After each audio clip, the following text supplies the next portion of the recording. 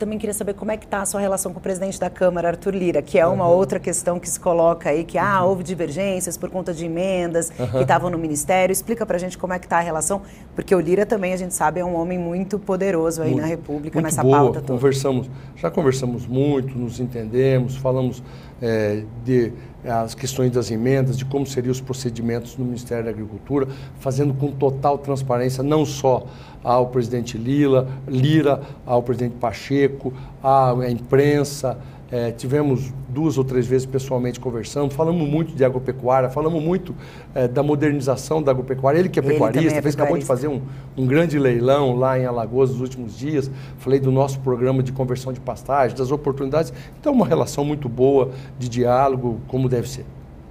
Ô, ministro, como é que é, o senhor acha que deve funcionar o orçamento federal? A gente tinha, é, durante o governo Bolsonaro, criou-se uma. Uhum uma distorção chamava-se de uhum. orçamento secreto. Uhum.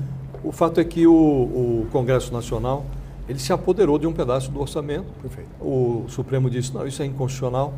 Um pedaço veio para os ministérios, mas sob, no pressuposto de que os parlamentares continuariam destinando aquela verba segundo a vontade de cada um. Né? Uhum. O senhor e outros ministros eh, mandaram parte dessa verba para os seus respectivos estados. Uhum. Né? Tem que ser assim, o, o, orçamento tem que ser retalhado dessa maneira, de forma que o parlamentar mande é, para o seu reduto eleitoral, por vezes num, num envio dissociado da, do, do, projeto, do programa, da política de governo. Né? O ministro pode pegar um pedaço do orçamento, mandar para o seu reduto eleitoral, como o senhor fez, como o, o, o ministro das cidades fez, como outros fizeram.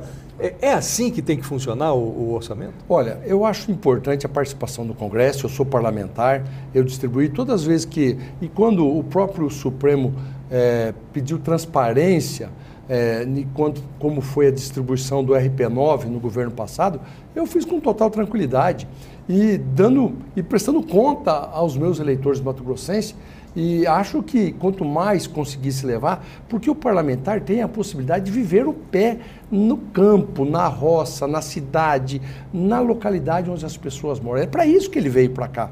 Ele veio representando um setor da sociedade. Mas também entendo que é importante ter as diretrizes governamentais, o executivo que tem o principal papel das políticas públicas. Quando você se refere é, a, por exemplo, eu e alguns outros ministros, e quero falar especificamente, levei uma parte dos recursos do programa governamental de recuperação de vicinais, foi feito de forma técnica.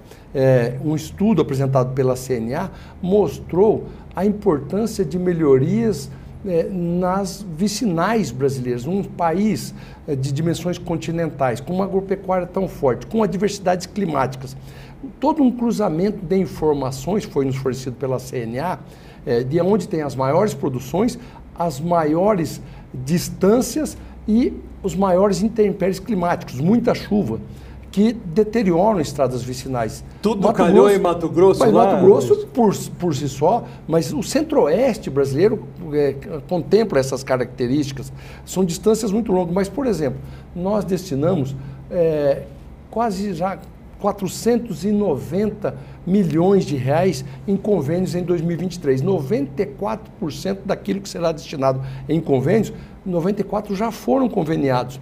A parte das vicinais, é óbvio que vai mais dinheiro para estados do centro-oeste, onde tem grande produção, grande chuva e grandes distâncias. Mas todas as unidades da federação receberam os convênios. Um município paranaense, para chegar no outro município através de uma vicinal, é 10, 15, 20 quilômetros. Mato Grosso, muitas vezes, são 300, 400 quilômetros. Então, fizemos de forma técnica, mas várias performances. Por exemplo, fiquei muito feliz quando recebi. É, o senador Everton do, do Maranhão, já com três prefeitos, na segunda medição, levando condições de trafegabilidade, substituindo ponte de madeira, adequações em vicinais, não só para o campo, mas as pessoas que moram no campo também vem o transporte escolar, vem a coleta de insumos, a, é, a segurança pública, tudo isso nas vicinais ligando as as pavimentadas as não pavimentadas. Então, há um conjunto de ações indicadas pelos parlamentares, mas de política pública